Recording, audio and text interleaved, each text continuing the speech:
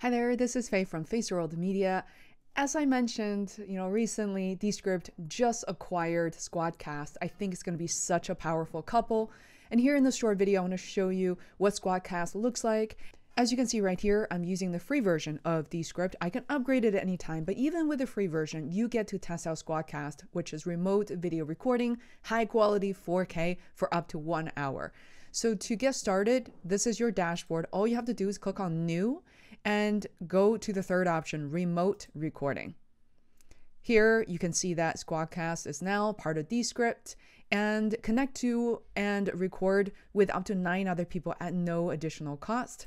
Don't show me this again. And now I'm bounced off to the Squadcast login. Here I have to authenticate. If you don't already have a Squadcast account, for now, you'll need to create this until Descript moves on to phase two, which means the two apps are now connected together. As you can see, now you're getting remote recording for free and you can click on redeem the offer. You can also here select, you know, how you want to um, organize your recording. So let me go ahead and do that. Claiming your drive, which is Phase Drive. Here I am looking at this for the first time. From here, it's pretty straightforward, especially if you have used Podcastle or uh, Riverside before. It's uh, pretty much the same. You can start a new session now, or you can schedule a session for the future. And here I need to give permissions to allow access to my microphone. Check out, this is the green room. Make sure everything is tested and okay. Headphones um, can improve quality if you want to wear one. You can skip the tour at any time. Here you're making sure you're using the right microphone and your camera. And next, almost done and ready to go. All right, now you're dropped inside the Squadcast recording studio. To me, this is really quite similar to Podcastle and Riverside. So if you have experience with one or both, that experience definitely going to help you adapt Squadcast quite easily. But let's take a look at this user interface. What I like about this is how big this video is. And also when other people join, you're going to have split screen and all that should be pretty straightforward. And here on stage, we have Fei Wu, the organizer, that's me, and then we have some cute icons here. It quickly identifies the browser I'm using, the operating system, and, echo cancellation is currently on. You can see all the details uh, and you can also edit them if needed. Now, uh, invite into backstage. So, what it means is that viewers can watch and listen to the session, but only communicate through chat. However, Managers or producers, in this case myself, can move viewers to the main stage at any time and be included in the recording. I think that's really phenomenal. I know that uh, actually Riverside has a similar feature. Podcastle currently does not. And what it does is actually allows you to kind of have a more a curated and controlled Zoom experience, so to speak. I really like about that. Obviously, if you are a, a show host, you want to make sure you do recognize the person. Other than that, you know, everything else is pretty trivial. And um, what I want to do is quickly record a session all right, so recording is currently on. Hi there, this is Fei from Feisworld Media. I'm currently recording a very quick tutorial for Squadcast. Uh, whenever I'm done, by the way, all I have to do is just stop recording. You see, as I've just stopped doing that, it says take one and cloud recording is being uploaded. And the technology here is called progressive upload. So it doesn't just start uploading when you're done, it progressively uploads uh, the bits and pieces uh, as you're recording. So it's much safer um, in terms of quality. So now at any time I can click on, you know, edit in Descript, it immediately pops me back into Descript. And this is really the power, right? You can see the location. I'm just gonna create a quick project and it says, oh, continue to the web experience. And this is the 17 or 30 seconds I just recorded.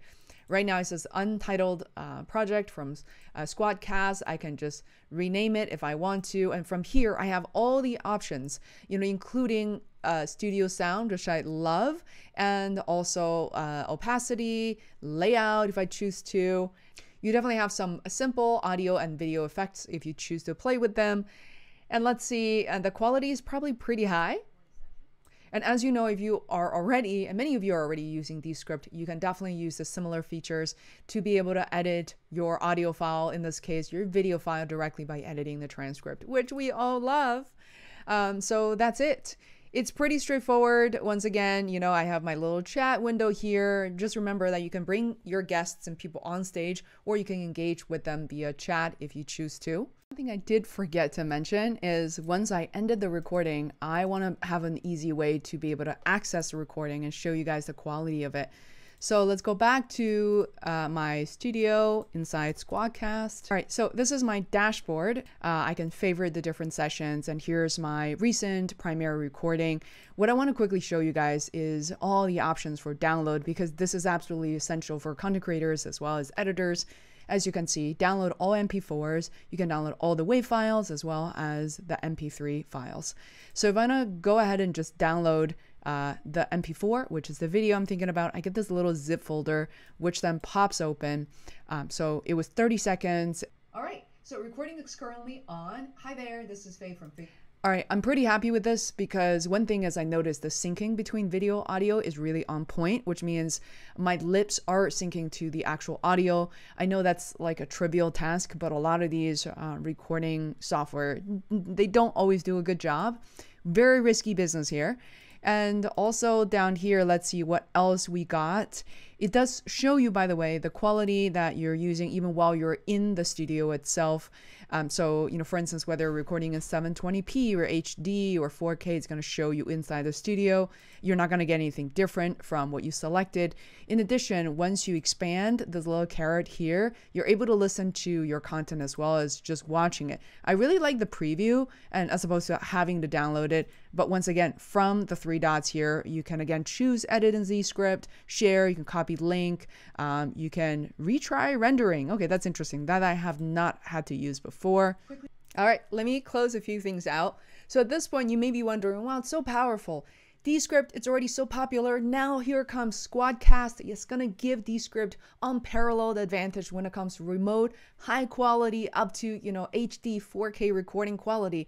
What else is missing here? Well, the only thing I can think of is really live streaming. Now, Riverside has already released a live streaming feature within its studio, which means you can connect your YouTube, social media, and be able to broadcast directly while you're recording. That's super powerful. Now, that is currently not available through Squadcast uh, by Descript, but I wouldn't be surprised if it's going to be a feature that we'll consider later on.